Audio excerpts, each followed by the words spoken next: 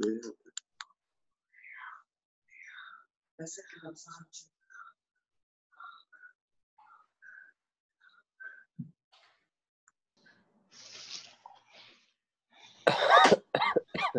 يا شباب نبدأ مع بعض. إن شاء الله درس النهاردة بسيط جدا ومش طويل.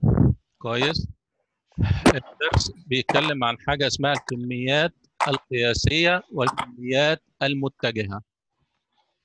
درس النهاردة عندنا في حاجة اسمها الكميات القياسية. القياسية. والكميات المتجهة والكميات المتجهة. طيب إيه هي الكمية القياسية؟ وإيه هي الكمية المتجهة؟ بنقول الكمية القياسية. لكي نقوم بتعريفها نحتاج إلى معرفة واحد المقدار اتنين وحدة القياس. وحدة القياس. يعني إيه؟ يعني لو أنا جيت دلوقتي طارق معانا؟ يا طارق. ركان. موجود موجود. لو قلت لك الطاولة اللي أنت قاعد عليها يا ركان طولها قد إيه؟ على حسب المتر. قول كام؟ ادينا مثال. يعني مثال آه، ثلاثة في أربعة تلاتة إيه؟ ثلاثة الطول والعرض أربعة طبعا الكلام يعني. الكلام اللي بيقوله كده غلط واخد بالك؟ تلاتة وأربعة تلاتة إيه؟ تلاتة سنتي ولا تلاتة متر ثلاثة متر ولا ثلاثة متر. بس كده ثلاثة. يبقى إحنا هنا دلوقتي أما هو قال لي ثلاثة بس قلنا غلط ليه؟ لأن هو اداني المقدار فقط لا غير ما ادانيش وحدة القياس وبالتالي أصبح الكمية عندي مجهولة. أنا إيش عرفني؟ أنا أنا مش شايف الطاولة اللي عنده. هو قال لي ثلاثة ثلاثة في أربعة. طب ما هو ممكن تكون أنا ثلاثة قلت سم ثلاثة في أربعة متر. 3 سم في 4 سم. إنما أما حدد لي وحدة المقياس أو وحدة القياس أما قال لي متر كده أصبحت الصورة إيه؟ واضحة. يبقى اذا عشان أعرف الكمية القياسية محتاج أعرف المقدار ومحتاج أعرف وحدة القياس. الاثنين مع بعض يبقى أنا عندي كده كمية قياسية. الوزن نفس الحكاية. واخد بالك؟ أقدر أقول إن ده كمية قياسية ولا مش كمية قياسية؟ آه كمية قياسية. كويس؟ ليه؟ لأن عشان أعرفها تعريف كامل محتاج أعرف المقدار قد إيه. يعني لما أقول لك وزن الطاولة اللي أنت قاعد عليها أو وزن أو وزن أي حاجة من الحاجات اللي موجودة عندك واخد بالك؟ هتيجي إيه؟ هتقول لي الوزن بتاعها مثلا 500 كيلو. يبقى هنا 500 هو ده المقدار ووحده القياس اللي هي الكيلو. كويس؟ طب زي إيه يعني أمثلة على الكميات القياسية؟ زي الزمن زي الطول إحنا لسه قايلين دلوقتي. زي الحجم. زي المساحة زي ال- ال- الكثافة الطاقة درجة الحرارة. كل دي كميات إيه قياسية؟ الكتلة. كل دي كميات إيه قياسية. يبقى قياسية الكمية القياسية هي الكمية اللي أنا عشان أعرفها محتاج أعرف مقدارها ومحتاج أعرف وحدة القياس بتاعتها زي إيه؟ زي الزمن، الطول، الحجم، المساحة، الكثافة، الطاقة، درجة الحرارة، الكتلة، كل دي كميات إيه؟ قياسية. طيب بالنسبة بقى للكمية المتجهة هنقول هي الكمية التي عند تعريفها نحتاج إلى معرفة واحد المقدار اتنين اللي هو الاتجاه.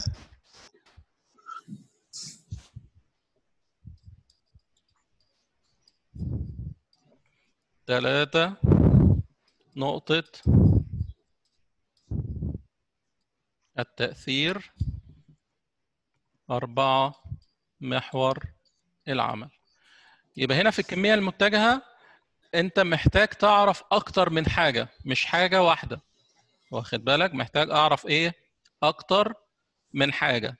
هندي مثال عليها. مثلا لو أنا جيت دلوقتي جيت مثلا عندنا ركان واخد بالك؟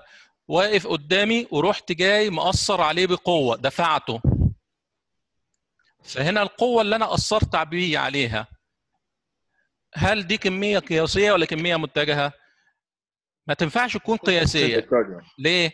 ما تنفعش تكون قياسية لسبب إن هنا القوة فيها حركة أنا لما باجي. لو أنا مثلا لو ركان واقف قدامي وضغطته دفعته إيه اللي هيحصل؟ لو دفعته من الخلف هتلاقي ركان اتحرك للأمام صح ولا لأ؟ طب لو أنا جيت من الجنب ورحت دافعه هتلاقيه يتحرك عكس الاتجاه اللي أنا إيه بدفعه منه. يبقى هنا محتاج في الكمية المتجهة محتاج أعرف المقدار أعرف الاتجاه. مثال السرعة لما نجي نقول مثلا إيه أنا بقود سيارة بسرعة 80 كيلو متر في الساعة في أي اتجاه السيارة دي مش بتتحرك يبقى هنا السرعة دي هتبقى كمية إيه؟ متجهة. نقطة التأثير زي ما قلنا دلوقتي لسه القوه لما أنا بدفع أنا في اتجاه معين لازم نقطة التأثير ومحور العمل اللي هو محور X أو Y أو Z كويس؟ يبقى دي أي كمية متجهة زي إيه الكميات المتجهة اللي عندنا؟ هندي هنا أمثلة. هنقول زي القوة لسه قايلينها دلوقتي مثلا أما أثر بقوة زي السرعة الإزاحة. المجال المغناطيسي.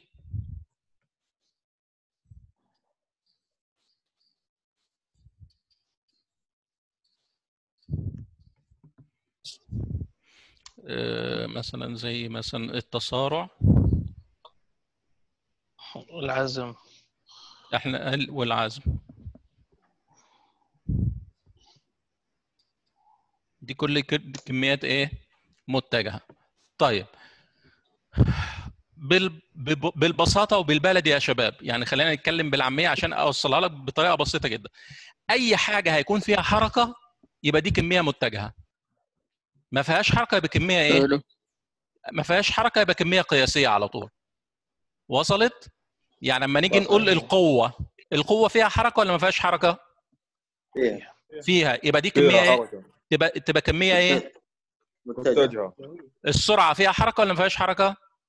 فيها. حركة. فيها حركة. حركة. يبقى على طول متجهة. الإزاحة. فيها حركة. متجه عارفين إيه الإزاحة؟ الدفع. الإزاحة بالظبط اللي هي زي ده يعني لو أنت جبت مثلا لو مثلا جبت طوبة وحطيتها في حلة فيها مية إيه اللي هيحصل؟ هتلاقي بناء على وزن الطوبة دي هتبدأ تخرج كميه من المية مساوية لوزن الإيه؟ الطوبة اللي أنت حطيتها دي أو المية بترتفع في الإناء اللي أنت حطيتها فيه. فدي اسمها الإزاحة. كويس؟ طبعا يبقى فيها حركة يبقى كمية متجهة. المجال المغناطيسي فيه حركة ولا ما فيهوش حركة؟ في حركة. يبقى كمية قياسية ولا متجهة؟ متجه متجهة. طب لو متجهة. قلنا لو قلنا المساحة؟ لا قياسية. آه لا. هنا لا. قياسية. ليه؟ لأن المساحة أما أقول لك مساحة الغرفة. قد إيه دي ما فيش فيها حركة صح ولا لا؟ الوزن؟ آه، قياسية. قياسية لأن الوزن ما فيهوش حركة. يبقى بالبلدي أي حاجة هيكون فيها حركة هتبقى كمية متجهة. ما فيهاش حركة تبقى كمية قياسية. واضحة كده ولا فيها مشكلة؟ لا كويس. واضحة واضحة طيب. يبقى إحنا يهمنا بس هنقول إن الكمية القياسية عشان نحددها محتاج أعرف المقدار ووحده القياس. في الكمية المتجهة محتاج أعرف المقدار الاتجاه نقطة التأثير محور العمل وأدي الأمثلة على كل واحدة فيهم. طيب زي ما إحنا متعودين لو حبيت أجيب لك أسئلة على الجزء ده ممكن أجي السؤال يقول لك أي من العناصر التالية كمية قياسية وأيها كمية متجه؟ متجهة وأروح اديك بعض الحاجات مثلا أجي أقول لك مثلا القوة متجه الزمن ال- مثلا ال- الطول الإزاحة متجه آه، مثلا ناخد إيه تاني؟ السرعة مثلا. حلو كده؟ طيب. الخطأ إن الناس بتخطأ فيه. أما بجيب لك سؤال زي ده بلاقي في بعض الناس بتخطأ خطأ كبير جدا. ألا وهو؟ ألاقي جنب ده يقول لي هنا الثانية وهنا يقول لي المتر. دي الإجابة بتاعته. هل الإجابة دي صحيحة ولا غلط؟ لا خطأ. أم- إما إنك تقول اما إنك تقول الطول بالمتر والزمن بالساعة. لا ال- سواء ده ولا ده كده خطأ. السؤال- طلب الفرق بين وش القياسي وش ال- الله ينور عليك. المتجه. أنا مش طالب وحدة القياس. أنا ما بقولكش السؤال ما بيقولكش طلع لي وحدة القياس. أوه. أوه. السؤال بيقول لك قول لي مين القياسي ومين المتجه. فالخطأ اللي بيقع فيه كتير من الناس بيروح جاي ذاكر لي وحدة القياس. أنا ما طلبتش منك ده في السؤال. فانتبه للجزئية دي لأن الجزئية دي في ناس كتير بتقع فيها. يروح جاي في الاختبار يكتب لي وحدات القياس. أنا مش طالب منك وحدة قياس. أنا بقول لك هتقول لي هل هو ده كميه قياسية ولا متجهة؟ فالإجابة كنت التالي ها؟ القوة متجه. قياسية ولا متجهة؟ متجه. متجهة. يبقى متجه. هتكتب كلمة متجه. متجهة. الزمن قياسي. قياسي. قياسي. الطول قياسي. قياسي. قياسي. الإزاحة؟ متجه متجهة. متجهة. السرعة؟ متجهة. متجهة. يبقى هنا ده الإيه؟ الإجابة الصحيحة المفروض تكون كده. مش مطلوب منك مرة تانية أهو يا شباب. نهائيا تحط لي وحدة القياس. يعني بلاقي ناس كاتب لي وحدة القياس صح بس مش هو ده الإجابة اللي أنا عايزها. فأصب... تيجي بص تلاقي جايب في الس... في الإجابة zero جايب zero ليه؟ لأن حط لي إجابة مش أنا مش هي اللي أنا عايزها. انتبه للنقطة دي في الإجابة على الأسئلة بتاعتك. حلو الكلام؟ طيب ممكن يجي لك السؤال بصيغة اللي هنا سين ده سين يجي لك بصيغة أكمل. يقول لك مثلا آه، لتعريف أو لتحديد الكمية القياسية يجب معرفة نقط ونقط. إيه؟ ولتحديد الكمية المتجهة. يجب معرفة نقط ونقط. كويس؟ يبقى هنا. شو- لتحديد الكمية القياسية لازم نعرف إيه؟ المقدار. المقدار. المقدار. وحدة القياس. المقدار وحدة والوحدة القياس. المقدار وحدة القياس. طيب تحت لتعريف الكمية المتجهة؟ المقدار. المقدار. المقدار. الاتجاه. المقدار والاتجاه. نقطة تأثير. هو هنا العمل. ماشي ماشي ماشي. جميل جدا. هو طالب منك هنا إيه؟ نقطتين الاثنين. بس هذا أنا اختار فتختار أي من. الأربعة. بالظبط الله ينور عليك. لو أنا قلت لك الأربعة مم. هتحط الأربعة. أنا جايب لك اتنين حط أي اتنين يعجبوك. حلو؟ ممتاز. يبقى ده كده الإيه؟ الأسئلة اللي ممكن تجي لك على الكمية القياسية والكمية الإيه؟ المتجهة. طيب سؤال أستاذ اتفضل. الحين لو صار السؤال الأول نحط ال- مثلا قلت القوة جنبها المتجه بدل تصير آه، الإجابة تحتها مباشرة. عشان يكون الواحد آه، واضحة مع ال- كيف الايه يجاوب معلش. الايه تاني مثلا القوة آه بدل يجاوب عليها مباشرة تحتها ليش ما يجاوب عليها جنبها؟ عادي إيه المشكلة أنت تجاوب المهم إنك هتكتب عشان- كلمة إيه؟ تكتب كلمة إيه متجهة ده أهم. حاجة بس ده أهم لا. حاجة عندي واخد بالك عشان ما يخطي الواحد أنا بس. فاهم عليك بس عشان ما يخطي الواحد ويكتب بس آه، آه شيء واحد بس عرفت؟ هذا الموضوع ما فيه لا عادي. أوكي ده الإجابة أهي. اكتب لك هنا الإجابة. دي الإجابة. لو تحط أسهم وفراغات تحتها يكفي أصلا. واضح اي خلاص. طيب. بعد كده هنتكلم عن ح- ل- حاجة تانية اسمها جمع المتجهات باستخدام طريقة الرسم البياني. هنبدأ هنا. هنتعلم على حاجة اسمها لو أنا عايز أجمع متجهين عندي متجهين وعايز أجمعهم باستخدام حاجة اسمها طريقة الرسم البياني. ودي تافهة جدا جدا جدا جدا جدا. كويس؟ اوجد حاصل جمع المتجهين باستخدام طريقة الرسم البياني. ويروح جايب لي متجه الأولاني أهوت A وده المتجه الثاني B. يبقى هو هنا بيقول لي دلوقتي السؤال اوجد حاصل جمع المتجهين. جايب لك متجهين واحد اسمه A والثاني اسمه B. بيقول لك باستخدام طريقة الرسم البياني حلو الكلام؟ طيب ده السؤال. الإجابة. شوف الإجابة هنعمل إيه. نقوم برسم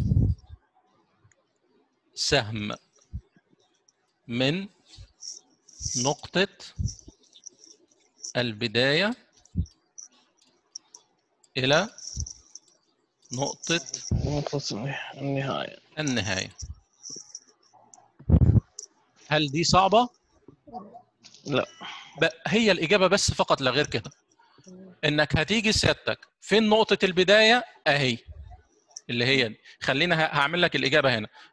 ده كده أدي ال A زي ما قلنا. وده ال B B هاجي أعمل إيه؟ هروح جاي من عند نقطة البداية اللي هي ديت أرسم سهم إلى نقطة النهاية. أهي. دي اللي هي نقطة البداية. بروح راسم سهم. أحط لك شوف هحط لك مربع على كلمة سهم. لأن في ناس تروح جاية عاملة لي إيه خط. فخط خطأ. إحنا بنرسم sorry. إحنا بنرسم سهم. سهم. بالضبط. سهم. وأروح كاتب عليه أقول له ال C تساوي ال A زائد ال B اللي هو حاصل جمع المتجهين ده اسمه C وده بيساوي ال A زائد ال B بنبدأ منين يا شباب؟ ببدأ من نقطة البداية إلى نقطة الايه النهاية. من النهاية. من هنا إلى هنا يبقى كده الإجابة بتاعتك وبتاخد عليها 10 درجات. فقط هذا السؤال كذا بس كده هي- لا أك- بس بس كده. كل هو السؤال بيجي لك بنفس الصيغة دي. اوجد حاصل جمع المتجهين باستخدام طريقة الرسم البياني. مجرد ما جات لك اسم باستخدام طريقة الرسم البياني وبيجيب لك المتجهين أروح سيادتك جاي على طول مباشرة وانت مغمض كده تروح على نقطة البداية تروح راسم سهم مش خط. مرة تانية سهم وليس إيه خط لأن اللي هيرسم خط اصبح زيرو من عشرة. طب ليه برسم يكون متجه من نقطة البداية إلى نقطة النهاية الله؟ ينور عليك بالعكس. الله ينور عليك من نقطة البداية إلى نقطة النهاية طب ليه بنرسم سهم مش خط يا شباب؟ لأن لأن الكمية متجهة. خالد الله ينور عليك لأن الكمية متجهة لازم أعرف الاتجاه فين يعني بمعنى تاني أما أجي أقول لك السهم ده اتجاهه فين؟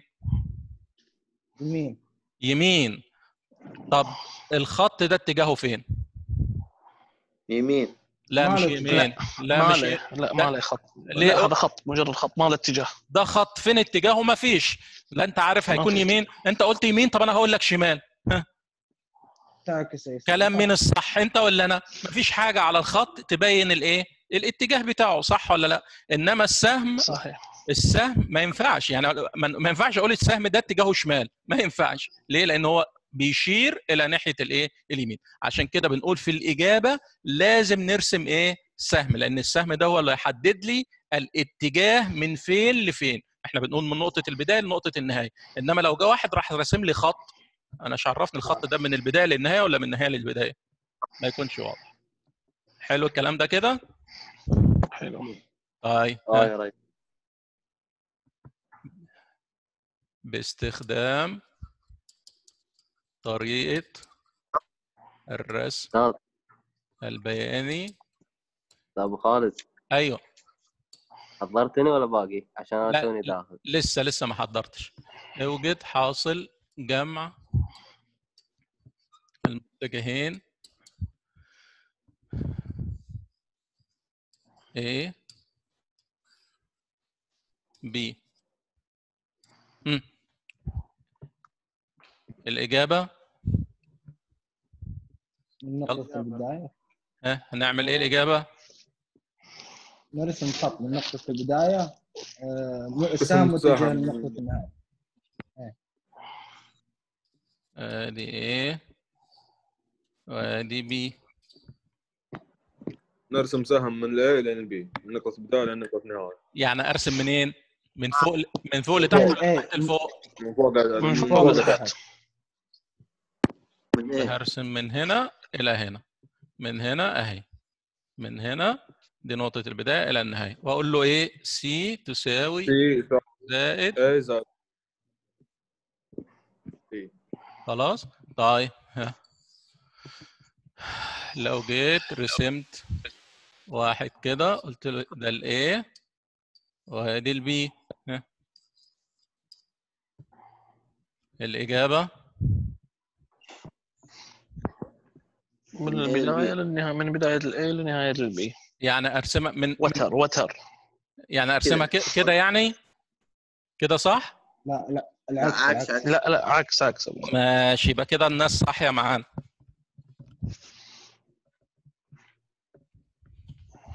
يبقى المفروض إن أنا هرسم العكس من نقطة البداية اللي من هنا أروح جاي راسم الإيه؟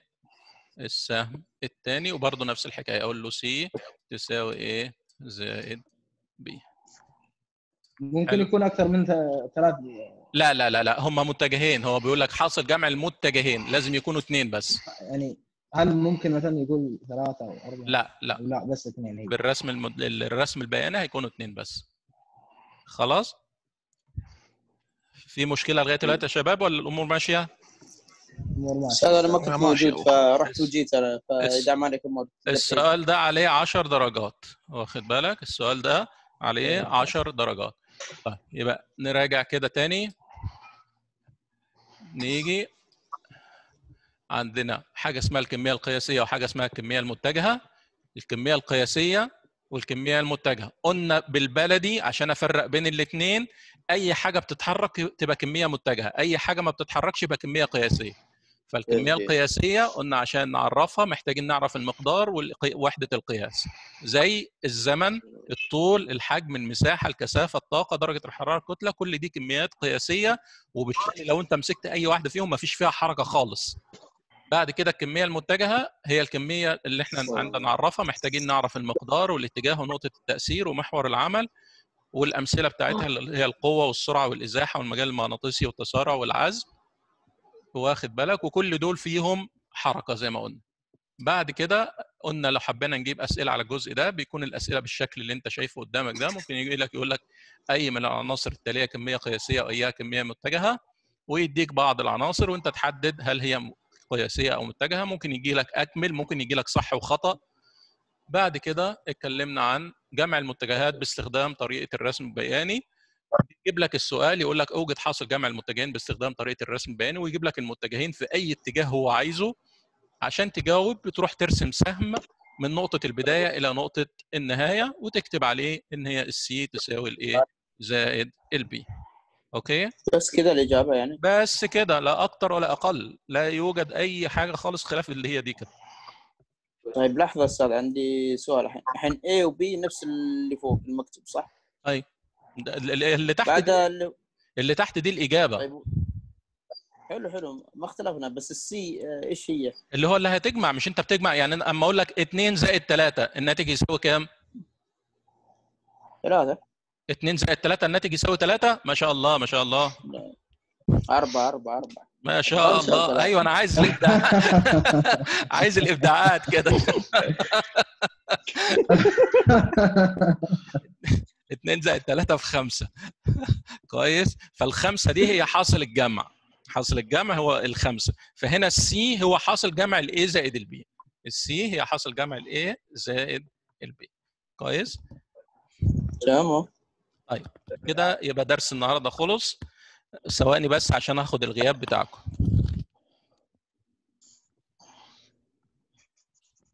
لا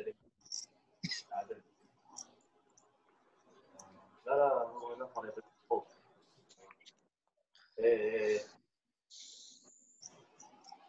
إيه اودي فوق اودي اودي فوق